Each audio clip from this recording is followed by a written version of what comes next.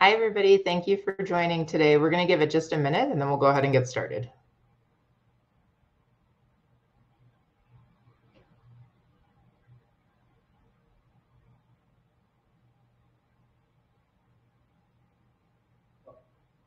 And while we're waiting, if you want to go ahead and say hello in the chat and uh, let us know where you're joining from. Hi, Archie.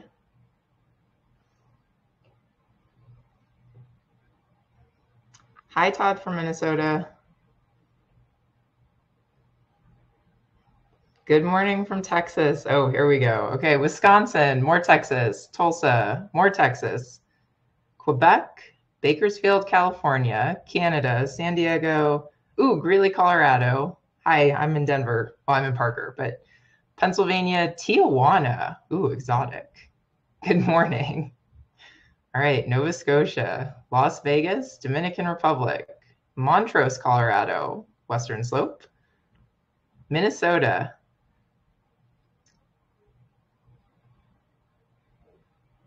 Oregon, more Texas, lots of Texas, New York City, we got Tennessee, Yakima, Washington, Spencer from Albuquerque, Bermuda, also very exotic, Lisbon, Maine.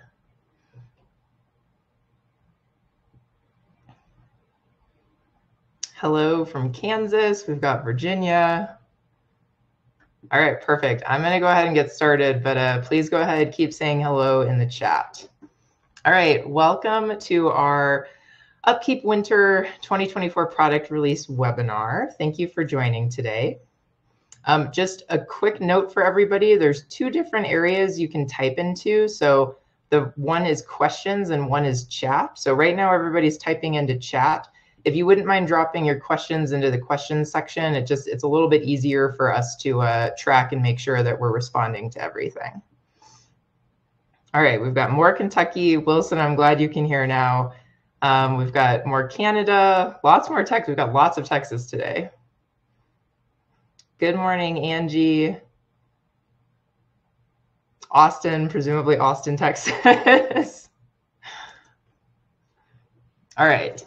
Um, very nice to meet everybody again. Thank you for joining. Uh, I'm Natasha, joining from the product team. We've also got Kobe from our marketing team, and a big thank you to Kobe for helping us with all the logistics today. We have a special guest, uh, Ken Asher, our Director of Security and Compliance, is joining to talk about some new and exciting things in security land. And then from our product team, we're joined by Nate Parsons, Daniel Binkowski, and then Spencer Nelson. Um, just a quick note before we get started. Uh, we recently introduced 24 by 7 text support. So you can see the phone number on the screen um, for your technicians. You know, if you're out in the field and you need help with something, this might just be a really fast and easy way to, to be able to get support or get questions answered. So just wanted to mention that to everybody. And we also recently released our new Security Trust Center, and I'm going to go ahead and pass it over to Ken to share his screen, do a little live demo, and uh, also talk about that. All right. Good morning, everyone. All right. All right. So, uh, I'm Ken Asher, uh, head of security and compliance here at Upkeep, and I'm here to kind of give you a briefing on our recently launched Trust Center and some updates on the compliance front. Uh, our Trust Center you can think of as kind of your one-stop shop for everything to do with security and compliance around Upkeep. Uh, you can find things like our compliance with CCPA and GDPR, our SOC 2 Type 2 report. You can find pen test results, network diagrams, all the things that your security and compliance teams are going to care about when they're evaluating our product for our security practices. There are little blurbs about lots of different aspects of our um, data practice, uh, security practices, rather, as well as things like monitoring of our statuses. So there's a link out to our status page here that you can pop out to information about things like our disaster recovery and business continuity plans, uh, information about our infrastructure security, et cetera. Lots and lots of great information out here for you um, to understand our security practices. All of this is publicly available with uh, just a few exceptions. Uh, our SOC 2 report, our pen test report, and our network diagram uh, we, we require an NDA, and this will actually happen through the request process. So if you go to the site, click request access, it'll send me a, a little blurb asking for permission for to, to grant you access to those documents. It'll take you through an NDA process right in in flight once you've been granted access, and you can gain access to those docs. So for your security and compliance teams, um, and also if you're just kind of curious about Upkeep's security practices, this is your one-stop shop, findable at trust.upkeep.com, and happy to happy to have you. Great, thank you, Ken. You bet. All right, if you have any questions, go ahead and feel free to uh, drop those into the questions section and Ken's gonna hang on to, to answer real time as well. Okay, so for today, um, from a theme perspective, we're going to cover some mobile enhancements. We also have some general user experience enhancements. And we actually have uh, quite a few new features that are pretty exciting.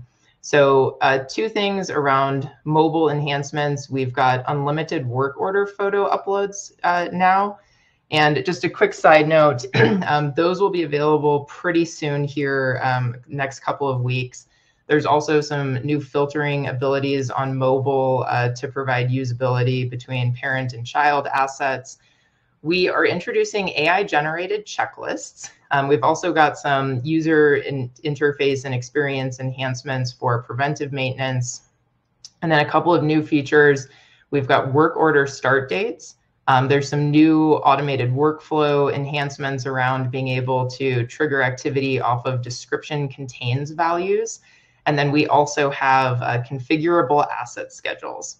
And then I just wanted to make a quick mention. Um, I know a lot of folks are really excited for custom work order statuses. Those are also in progress, um, hopefully coming by the end of this month as well. So just wanted to, to provide an update there too. Um, as always, different ways to communicate with the product team.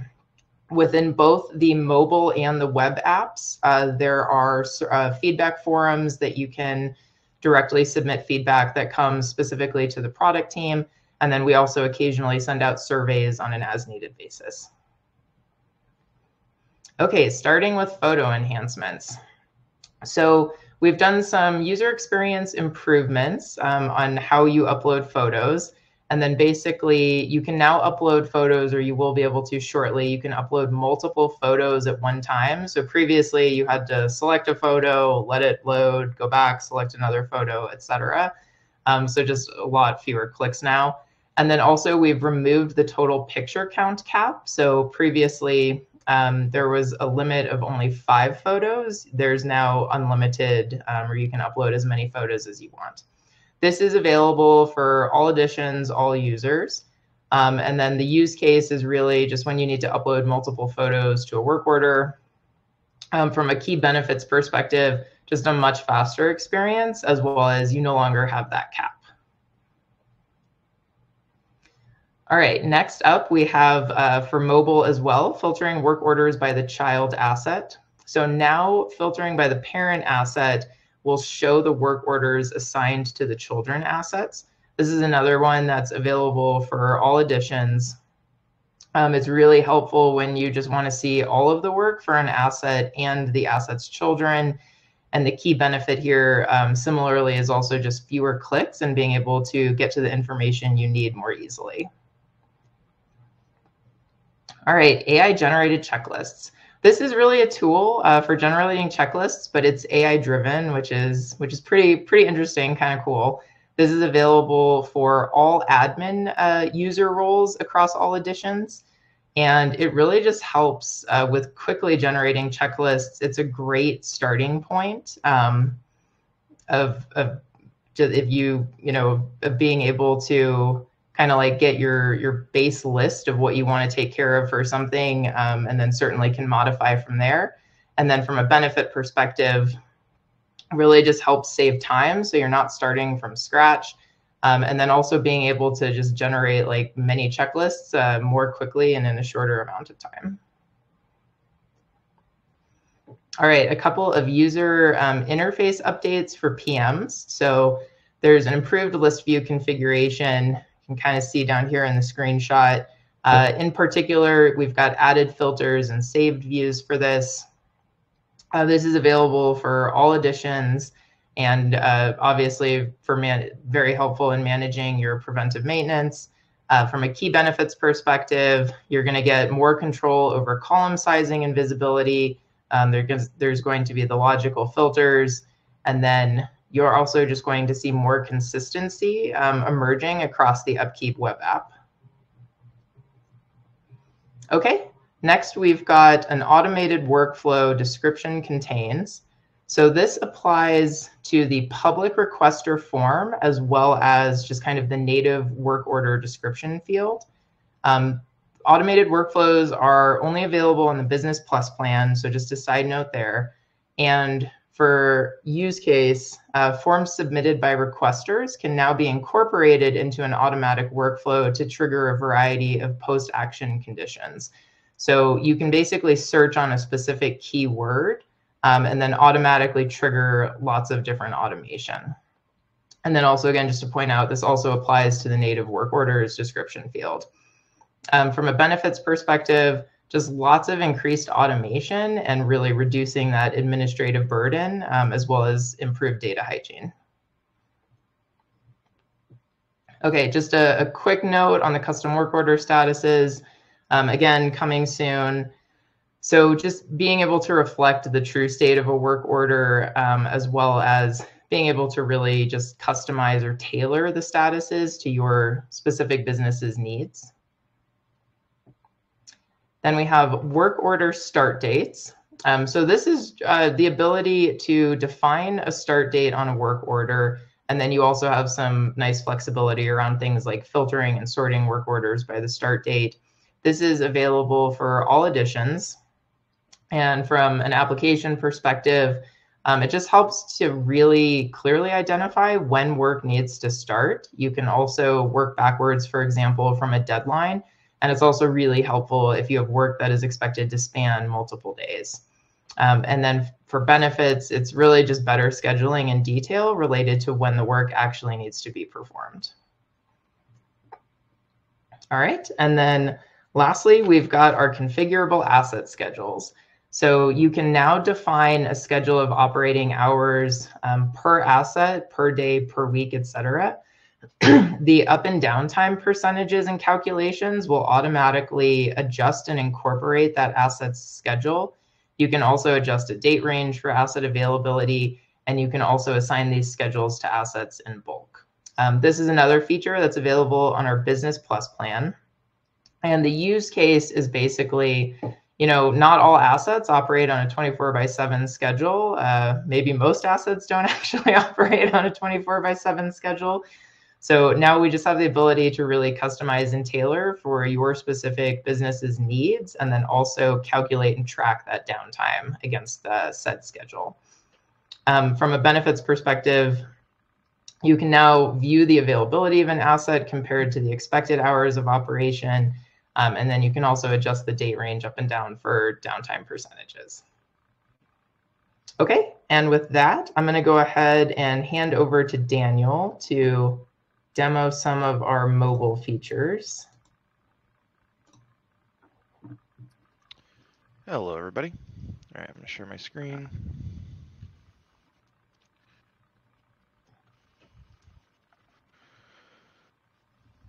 Okay, so I'm going to demo the photo enhancements first. Um, let's go over here to my mobile app. Uh, so if I go into a work order um, and I go to edit it, um, we made some UI UX changes as well. So you'll see this kind of nice big add photo section. If I click this, I'll have a few options. I can, you know, take a photo immediately or uh, add from gallery. So we'll pick that. And then I'll get my gallery here. And if I long tap, so if you hold down, it'll check a box and then you can kind of select as many photos as you want. Um, so we'll just do a bunch here, hit select, and we can upload all of those at the same time now. Um, so in addition to be able to select multiple, we also removed the photo cap. So it used to be a work order can only have, I believe, five photos on it, and now there's essentially no limit. So um, this works on web as well. So we'll even if you upload more than five, like we'll display all of those on web uh, as well as on on mobile. Um, so yeah, just kind of a lot faster now if you're you know trying to add a lot of photos if you have manuals you know pages of manuals you want to upload or just reference photos for um, technicians doing the work um, it's just a lot easier to do that now. Um, moving on to uh, the next feature is this is a small one but just making it easier to filter work orders uh, that include child assets. Um, so kind of going back over here back to our uh, work order view um, when I go into filtering, um, if I filter by assets, it used to be where, um, and I can give you an example of this. Used to be where, so this uh, Hyster gas forklift, for, for example, you see it has one child asset. If I filter by this, um, it only will actually show me, uh, let me remove um, assigned to me. It'll only show me the work order work orders for that parent asset. Um, it won't actually include the child. I'd have to, you know, add the child separately. And we made that a lot easier now. So uh, you'll see this toggle here, auto select asset child. So if you have this on, whenever you select an asset now, it'll also just auto select all of the children. So you can see it added this gas tank child asset. So now when I filter, it'll include, you know, obviously all of the work orders related to either the asset or the children as asset. So another small, just kind of quality of life, um, hopefully save save some time um, so you can see kind of the full context of work for an asset and, and its subassemblies or its or its related uh, pieces. Um, cool. So that's everything on on mobile, uh, and then the last one is the AI generated checklist. So this is live as of yesterday, so you can go check this out yourself. Uh, so this is only on um, the web application. Um, and when you go to create a checklist, so go to add checklist, you'll see this kind of new box here that says AI uh, checklist generator. And there's a few fields. So um, asset type is basically what you're, you know, want to create the checklist for. So uh, let's uh, created for a Ford F-150. Um, right now, we have this limited to just kind of a few brackets of tasks. We'll probably open this up in the future if you want to generate longer checklists. Uh, there's some options for how often this will, you know, slightly affect what kinds of things tend to be included. Uh, so just go monthly for now, and then also checklist type. Um, so again, this will like slightly affect like what sort of tasks you're getting. So let's just pick preventive, preventive maintenance. Um, so we'll generate this now um, and uh, as Natasha was saying, you know, this this is just nice to have a starting point. If you're you know creating a lot of checklists it might save you some time or if you just kind of want to um, gut check you know your own checklist this could be helpful. It's obviously not going to have um, it's going to be pretty asset specific which you'll see but it's not going to have you know the full sort of detail and expertise you know that you would have. So it's you know probably not something that you're just going to use you know 100% on its own but you're you know going to come in add additional detail um, you know maybe it missed some things that you want to add in there um, but hopefully it'll save some time and also just you know give you an idea of, of what direction you're headed. Also you know if you don't have checklists and you're like really want to build out a lot more detailed tasks for some of your work orders your preventive maintenance um, it can be just a good starting point right? Um, like some of these you could use out of the box as as you know it's better than nothing sort of thing um, as you like learn what you need need uh, for your organization. So, you know, we see there's a lot of you know asset specific things like you know talking about tire pressure and inspecting the tires uh, fluid levels battery terminals etc so you know again like it's not going to have you know maybe down to the exact like oh what should the tire pressure be that would be something you know you need to use obviously your expertise um, um, to add in but again i think it'll be a really good starting place and this is something we're looking to you know continue to iterate on and improve in the future um, you know we're, we're really trying to we try to leverage technology here obviously at upkeep and uh, be innovative and and this is kind of a you know a, a step in that direction so excited to get feedback from you all um, uh, on this on this kind of cool new feature uh, all right, uh, that's everything for me. I will stop sharing and hand it over to Nate. Awesome. Thank you, Daniel. So I'm going to share my screen now. Great. So the first release that I had to show over here is our uh, updated preventive maintenance UI. Um, th this has been enabled for all of you, so you you should have seen this if you've come across the PM module in the in the past months or so.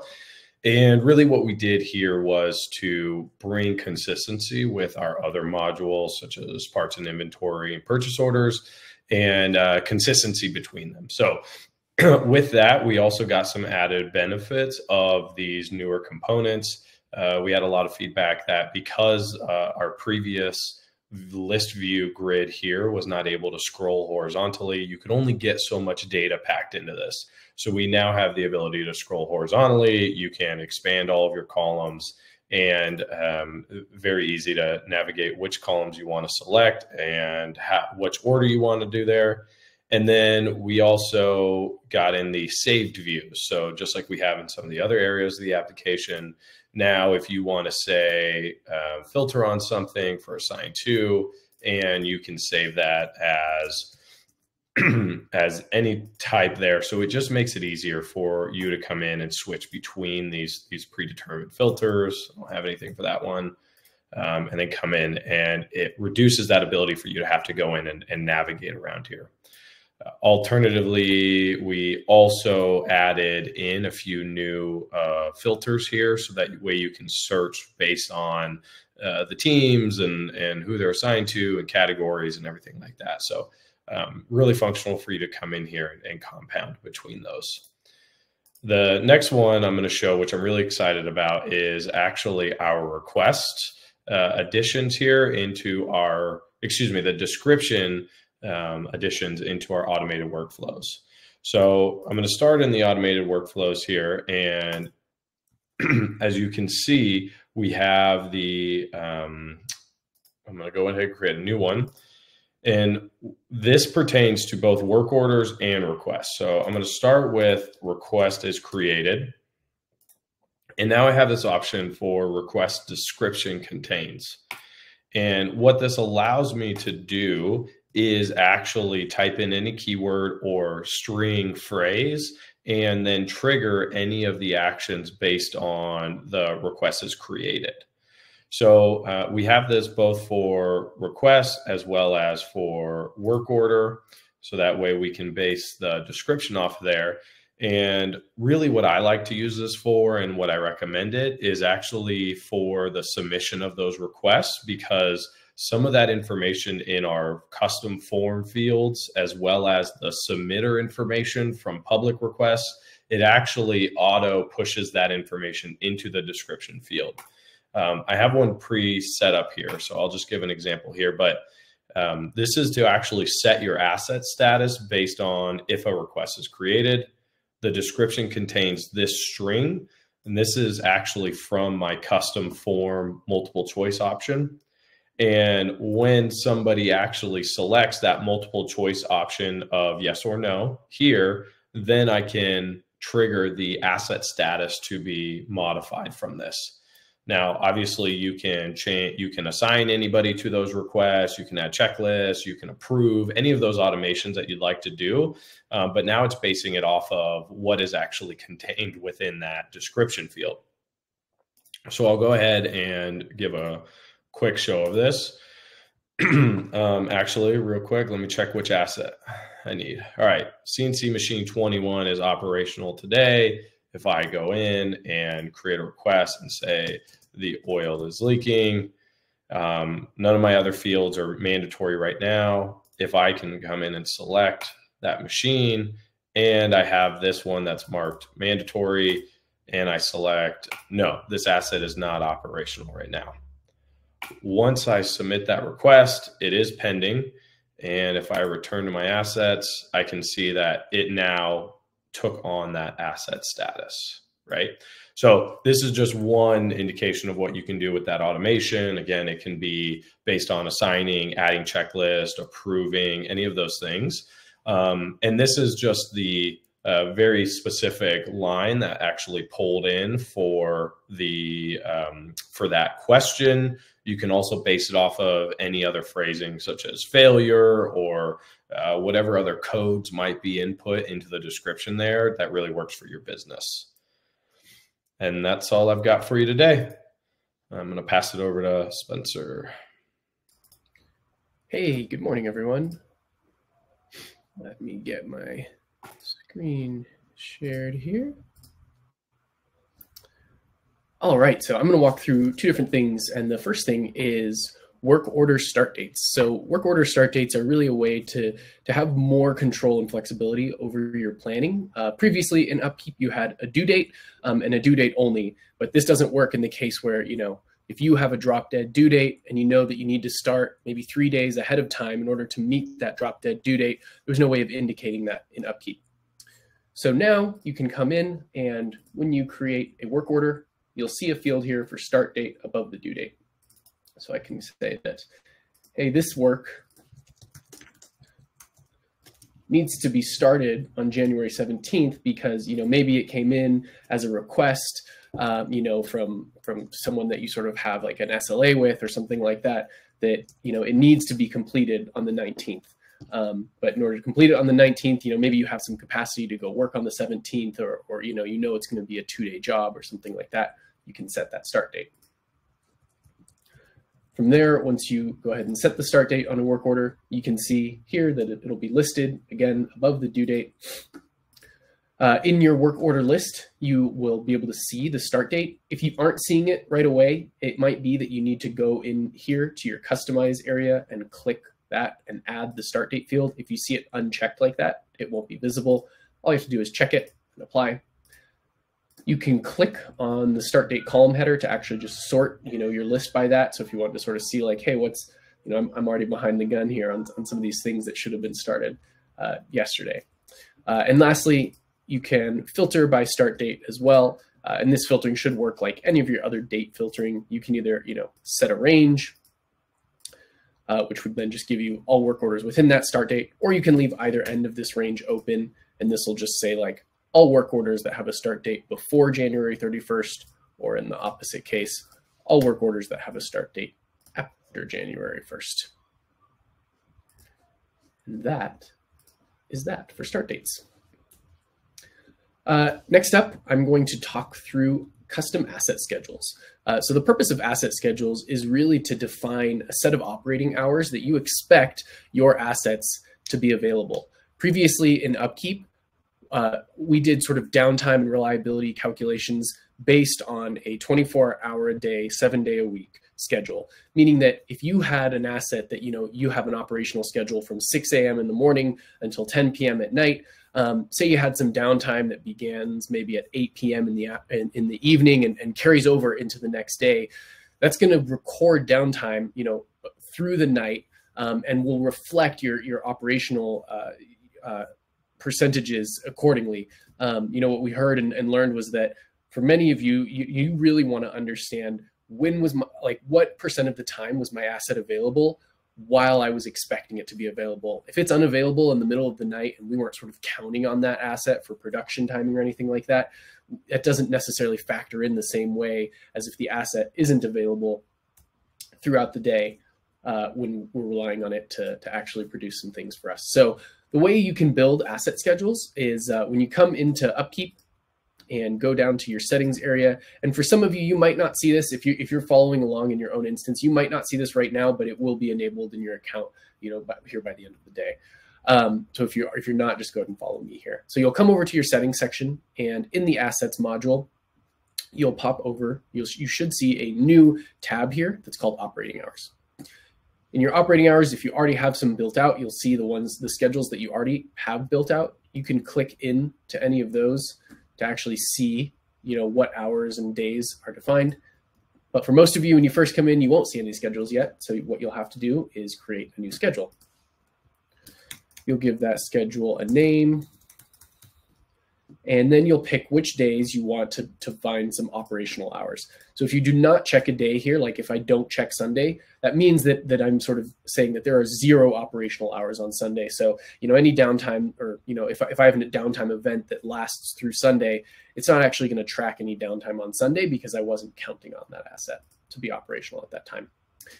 Uh, on any given day, you can either set up, uh, you know, an entire block of time. So maybe 8 a.m., to 8 p.m. Or you can break up the day into, you know, smaller blocks of time. So maybe you have a shift that runs from 8 a.m.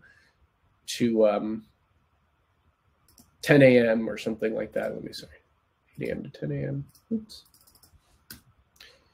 Uh, gotta figure that one out. So you have a, a block there. Then you could have another block that begins, you know, maybe at 11 a.m and that extends out to 3 p.m. you know, and you can add as many blocks as you need. And this will help account for things like shift changes or just like natural breaks in the day where, where you sort of know that, hey, that asset isn't going to be operational during those hours.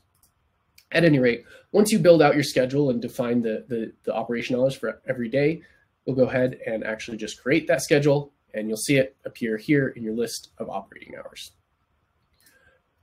From there, you'll go into upkeep and you'll go into your assets. And you know as you're either creating a new asset or or updating an existing asset on the create or edit page you'll see this section here that says operating hours. And on your operating hours section if you have operating hours already assigned to that asset you'll see them appear you can remove it and add a new schedule here. So I'll add our webinar schedule and save changes so that's how you assign an asset a schedule. I won't demo this, but I'll just I'll just call out that you can also bulk assign uh, schedules and assets here in the import function. When you do an import, when you download that template, you'll see a column called asset schedules, and you'll just define the name of the operating schedule that you want to assign to each asset. So, you know, for many of you, it's likely that if you if you use a schedule, most of your assets will be on the same schedule. So you can go in and, and update all of those in bulk as opposed to having to do it manually one by one. Uh, okay, so last thing I want to show is actually just how this schedule works in practice. Um, so I have an asset that I've already created and has already been on a schedule for some amount of time. Um, and you can see here at the top, I'm seeing the last seven days of, of reliability. I have 100% uptime and 0% downtime. I'm going to check my downtime log, and I can see that the last downtime event I had was here on December 24th. So it makes sense that I'd, I'd have 100% uptime over the last seven days. I don't actually have any downtime in that range. However, I am going to go ahead and look at this downtime event here, which started at 9 a.m. on December 21st.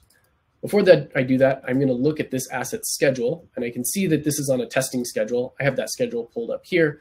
Um, so this schedule in general operates from 9 a.m. to 9 p.m. So I would expect that on, on almost any day, except for maybe Monday, you know, I have 12 hours of asset availability for, from, from it during that time.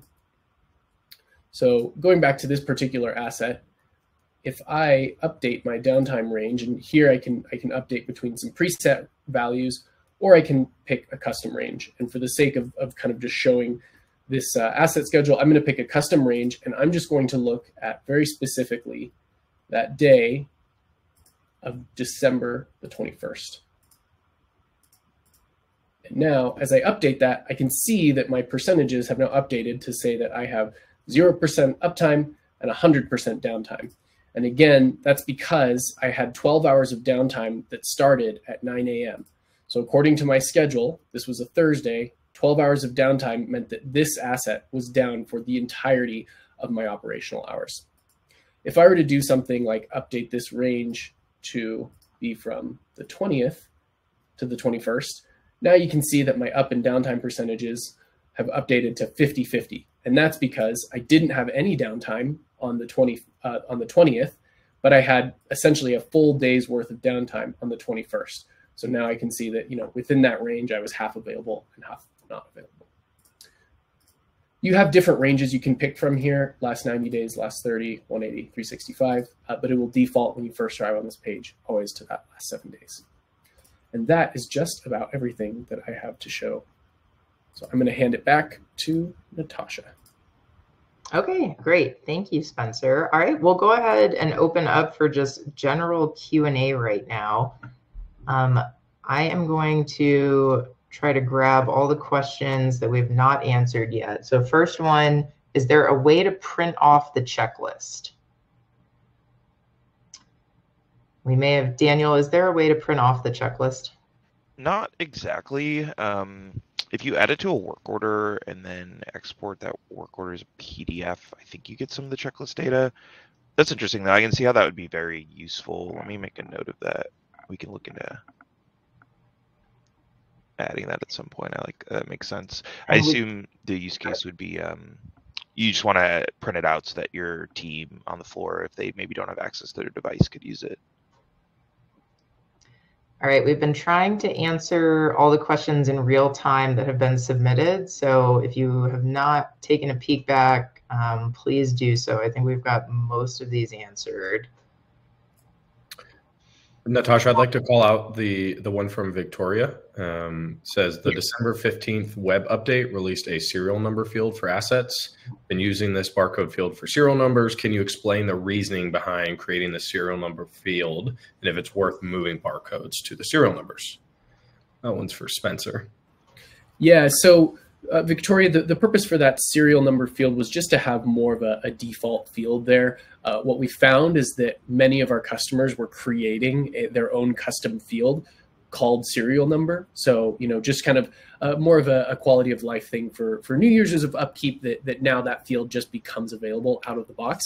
Uh, I think that uh, the barcode is useful because that is what gets tied to your QR codes in Upkeep. So when you're trying to scan things from the mobile app, um, you do that is referencing the barcode field there. So you know some people, some of our, our, our customers use the barcode as kind of like one number and the serial number as a separate number. They're not kind of the same thing. So for you, if they're the same, it probably isn't worth to have both. Like if you just have it in the barcode and, and your team knows that that also is the serial number for that asset, probably okay to just leave it in the barcode. Um, but for some people, they have a custom barcode that's different from like the actual serial number that's provided, you know, by the manufacturer on the asset. And so there's now two different places to track those those things. Uh, and Spencer, is the is asset schedules avail? Is it coming today? Yes, yes. It's we just need to okay. enable it for everyone in their accounts. Yes. Sorry about the confusion, folks. Let's let's say by tomorrow morning, just to be safe. But Okay, but everything else except the mobile is available, should be available um, currently, and then mobile's coming on the 24th. And another one came in from Frederick concerning PM triggers that I'd like to answer. And he asked, how can we pause a generation of work orders during a shutdown, such as holidays? And uh, we do allow that today where you can actually go in and pause your PM triggers. Um, so what that will do is prevent it, obviously during that holiday schedule, and then when you're coming back, once you hit resume, it's uh, it's only a, an immediate action. So it immediately pauses and prevents those work orders from generating in the future until such that you actually go into resume. And that is uh, it is individual per PM right now. That's something that we are we're working on getting so you can do it in bulk. Uh, but that'll be in that top right ellipsis menu on the actual PM detail page itself.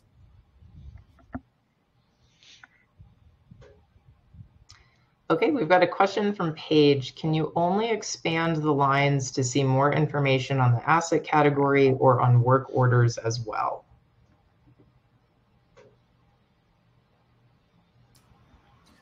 Do we need more information? I, I think we're going to need maybe a little bit more clarification uh, on that one. Are we talking about expanding the line? Uh, yeah, I, I, think I think if we could get a little more detail on that one, it would be helpful. Um, oh, okay. I think I understand. On the asset page in the details section, if you have you know a, a lot of text somewhere, you have the ability to actually expand and see all the text. Uh, I don't think that's available on, on the work orders section, although I think in general, work orders should just show you all the text. We're going to need to dig into that one a little bit. I think that came from Paige, so we're going to have to dig into that. Um, but if you, if Paige, if you could send us a little more information, that would be helpful.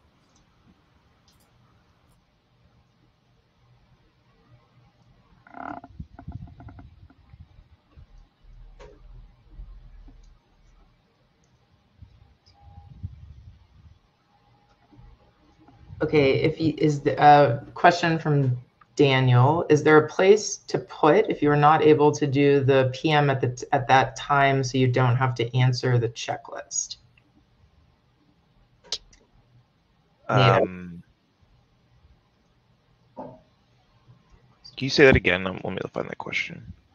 Yeah, is there a place I think I think it's asking like maybe like a pause or a hold status. Is there a place to put if you are not able to do a PM at that time so you don't have to answer the checklist?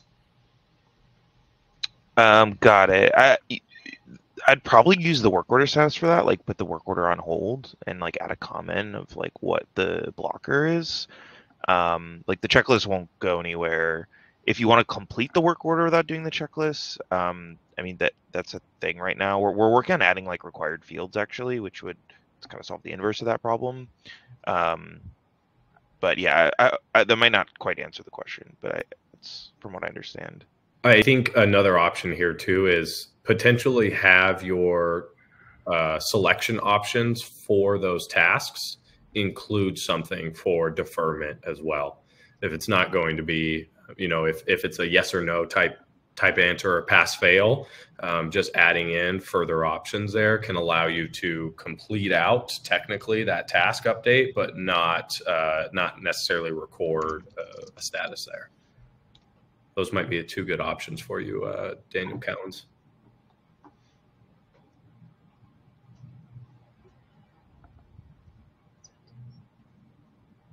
Okay, Nate, can you take a peek? Angie's got something about PMs in the questions. That's probably right up your alley.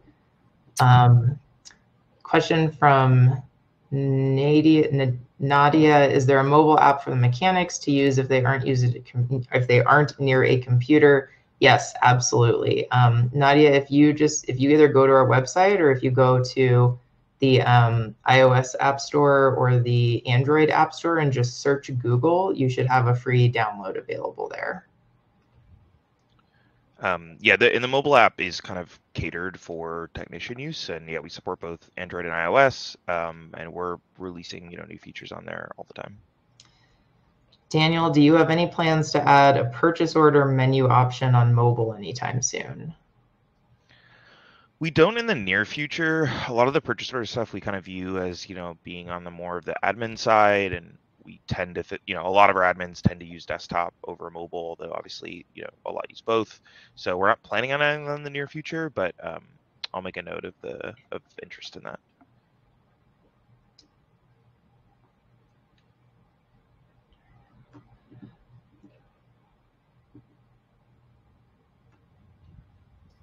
Okay, let me.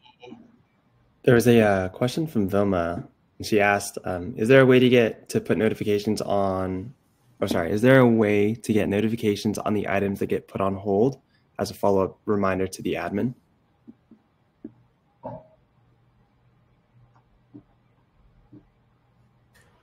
Uh, sorry, Kobe. I think I missed it. This is uh, if the, if we can get notifications for on an item that gets put on hold. Um, a, a, work order? I believe so. She she wants um, follow up reminders to to go to the admin. Got it. Uh, n- not natively at the moment. The best I can think of off the top of my head would be that um, if you are in a Business Plus subscription, you have access to the Upkeep Analytics uh, platform, and through that you can build reports, uh, and you can have reports that are automatically sent to your email. You know, on some cadence, whether that's every morning, every week. So you could feasibly build a report that has all of your on hold work orders and have that delivered to your inbox, um, you know, uh, every morning or you know whatever cadence you want. Um, please reach out to, to us for kind of support if you need support building something like that. But um, we do not have sort of a native function that will send reminders to you that a certain work order, you know, is yeah. Just to also touch there to make sure that the notification settings are are set for those work order updates because that will show when the status has been changed of them as well. Um, so the users will get those emails, but yeah, it's not specifically a reminder function, as Spencer mentioned. Okay, couple from the main chat. Um, I would love from Brianna. I would love the option to be able to communicate with work order requesters with comments or updates on their requests. Is this something that will be implemented in the near future? Um, we do not have plans for that in the near future, but we will add that to the the greater uh, list of requests and backlog. Uh, next question from Emily, in the asset details, can you add a separate entry for the serial number? And can we display more photos there? Right now, it only shows one photo. So, Emily, there should already be a field, a specific field for serial number on the asset page. When you create an asset, you should see serial number. Um, if you're not, please let us know, but you should see that. Um, secondly, right now, no. The answer is that you can only have one photo. Well, I guess maybe that's not true. I think you might be able to upload more than one photo on an asset. Um, let me look into that and I'll pop back in here in, in just a moment. Okay, question from Sean. I have an administrator who has left the company who is attached to assets and PMs. What's the best way to replace this user with another user? So at that level, uh, it depends on the quantity. If it's only a handful of PM triggers, you can certainly go into uh, go into those records and update the assigned to information manually.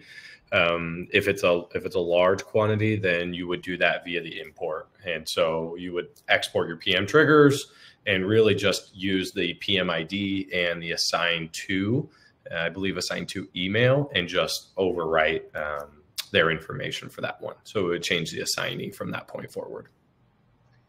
Okay, question from Dylan. I'm an admin user and unable to customize the categories or statuses. Should I reach out to the help desk for further assistance? Um, the statuses, Dylan, will be coming soon, hopefully by the end of January. Um, as far as categories go, yes, I would say go ahead and reach out to the help desk. Just a quick update on the question around uh, asset images. There is a, a one image limit right now on assets, so um, please drop us some feedback and, and, let us know that you'd like to see more if that's something that's important. Just to clarify, you can add multiple files on an asset, but when, but when we say the image, we're sort of talking about that thumbnail image that represents the asset itself. Right now, there's a, a one image limit there. Okay, question from Dillard. In the location under floor plans, can you or how do you make it full screen?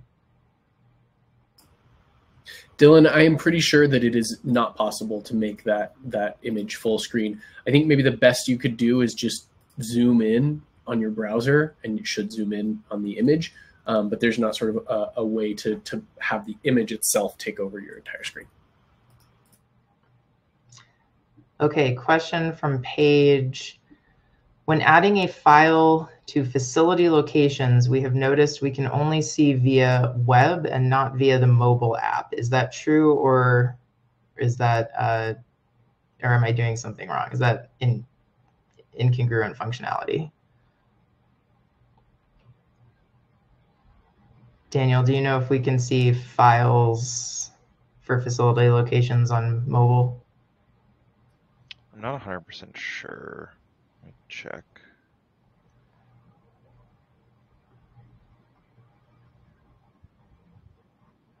Okay, more questions about custom statuses, um, hopefully by the end of this month. And we will be posting information about that um, via LinkedIn. We'll do kind of like a mini demo recording of that. It'll be on our normal release notes cadence, um, and we'll do an in-app notification as well.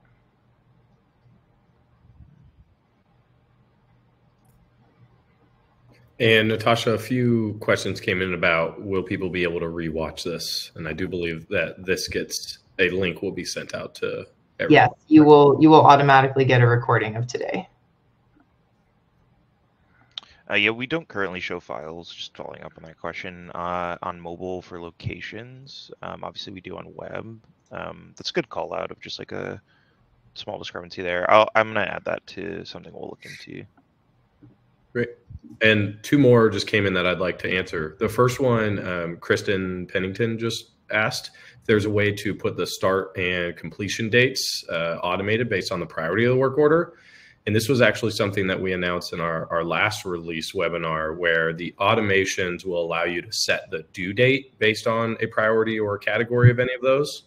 Um, so that same concept of going in and if a request is created and a priority is high, then set a due date within a time frame of that.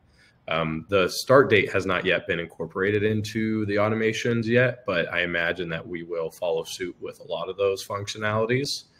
Um, Kristen, please feel free to reach out to me if, you, if you'd like more follow up on that. Uh, and then for Michael King asked if there's a way to assign multiple assets to a work order or PM. And what we can do for that is have uh, multi-asset PMs, but those will generate a single work order per asset. Uh, we do not allow multiple assets on the same work order uh, for all that work to be done. So that way we can retain the kind of work order connectedness to uh, to an individual asset at that point. I hope that helps. Let's see, could somebody please drop the link to our, um, our complimentary or free uh, certification for training for Susan? Yep, I, I did actually put that into the chat as well. If anybody is also looking for it for Upkeep Certified, and this can also be found on the um, the help section of our app as well. Um, so help on Upkeep, and there's a few few different options there for you to go and find. Um, lots of different trainings that are very helpful. Okay, is it possible to add currency for Switzerland? I don't believe we support currency outside of dollar today. Is that correct? No, that is not correct. We have uh, lots of different currencies. Um, I think that one is actually on a list that I have that uh, should be getting worked on relatively soon. Um, I'll go ahead and reach out and try to make sure that we have the uh, the appropriate currency there. All right, Freddie asks, can you add an order quantity to a part using a min-max order quantity? Freddie, right now, um, we, we support a minimum quantity on parts, but that is the only thing. So there's not a way to, to sort of track a, an actual order quantity. Um, you'll have to sort of do that math on, on your own. Oh, it is something we're looking into, particularly the max quantity um, option, which should theoretically help you. You could kind of look at the, the quantity you have in stock, the max quantity and, and then know how many you need to order kind of to get up to that, that amount. Okay, do we offer QR code asset tags for sale? Oh. Yeah, I was just responding to that one in chat. Uh, so, Michael, we don't actually offer them. We do have a few uh, vendor, uh, like preferred vendors for them, but realistically, any single one that you go on in Google of, of asset tags, uh, if you just provide your that that uh, CSV file for them, they can produce you a really nice QR asset tag as well.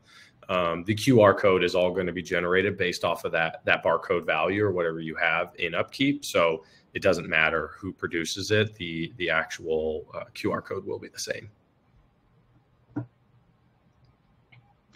Okay, I think we've got a couple more questions trickling in here.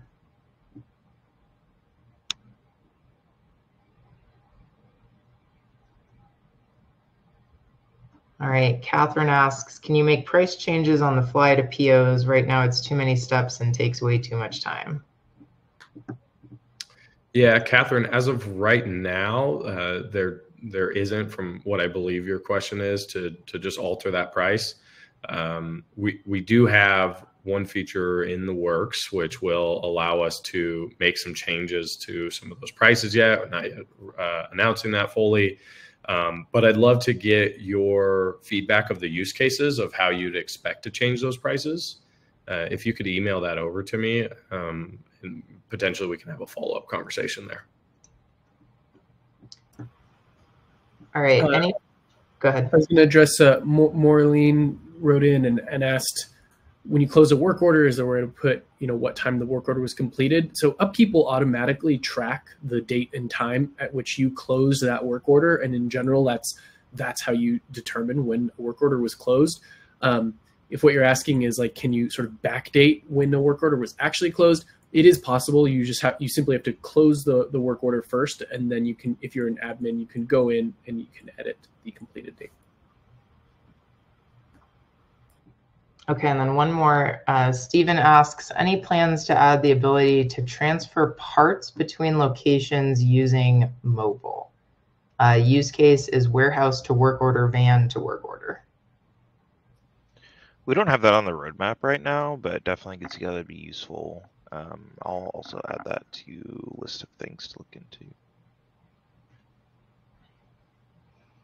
You're very welcome, Archie. Thank you. All right, let's do last call for any last, okay, any last minute or any last questions. Is there a better way to print part labels? Uh, currently different, car, sorry, currently it is difficult getting the right side to print on the page. Change the settings print and no help. So uh, I'll take a stab at this one. Um, in the last quarter, we released the Avery label format for printing part labels. Uh, so that way it's it's your standard. Um, ooh, don't don't quote me on it, but I think it's one by five eighths and two and a quarter, something like that. Uh, the the standard Avery label format. that should, as long as you can structure that and, and have the right appropriate settings for those label formats, then you should be able to print it all within those confines. Um, so we, we definitely have that structured. Um, other than that, I, I, don't think that we have any other way of altering the part, um, if that's if that's what you're asking, or altering the label. And then just because it came up, uh, Michael Harriet asked to sync upkeep inventories with SAP, and uh, we could certainly do that through our inventories or, th- or, or, excuse me, through our integrations, or utilizing Zapier to kind of do a push and pull of each of those uh, those quantities. So certainly something, Michael, I would recommend just reach out to support, and they can uh, help get you set up there.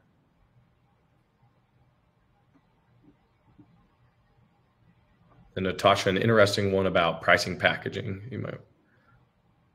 Yeah, just reading that right now. So how about offering a pricing package for unlimited users instead of per user pricing? Um, we could also think of that as a, a site license um, package. It's a pretty interesting concept, Flint. Um, we don't formally offer that, but that's probably something we could work through um, with your account manager if it was something that you wanted to explore. Yeah, I will say it's pretty industry standard for CMMS to charge by uh, user, um, just because we view, you know, each kind of additional user as additional value for the company and everything. So um, definitely something we've thought about, but no immediate plans to offer that as like a formal um, plan type.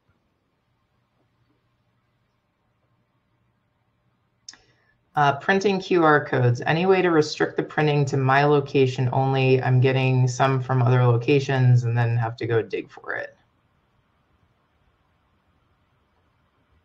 So I, this is sorry, I, I, printing QR codes.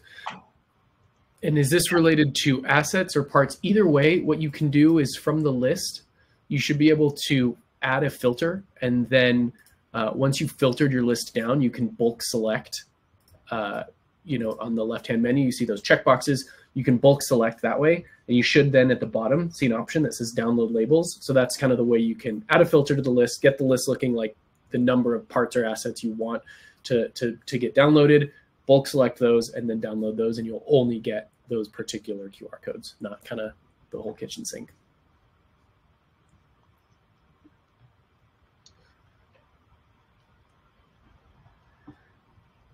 Okay, when I print a work order, why does the time show the lump sum of hours instead of hours on each day?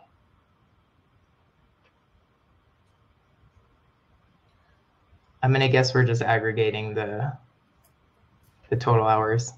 Yeah, on the on the PDF export there, it's just a combination there.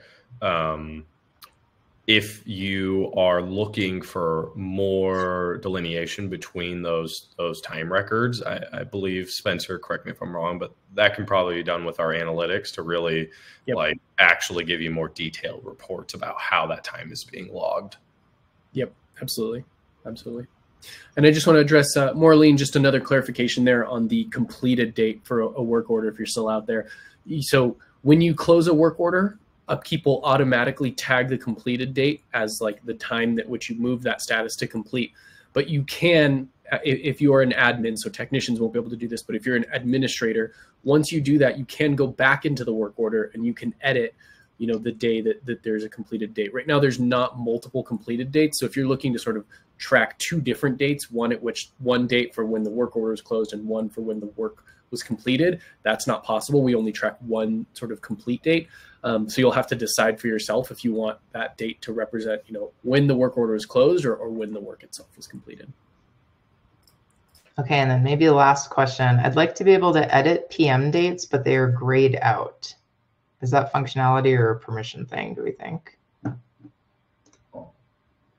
Uh, I that's not enough information for me to uh, really call out what the changes here. That's probably a same thing. If you can email me and give me the scenario of what you're trying to do and include some things such as the PMID, I can um, either myself or our support team, we can help you get through that point and, and figure out what changes need to be made. Okay, I think we've got everybody's questions in the chat. So thank you again for joining today. We'll go ahead and wrap up. Um, you will receive an automated or a, you'll receive a recording of today um, for future reference, and it will also be posted on our website. Thanks, everybody. Thanks, everyone. Thank you.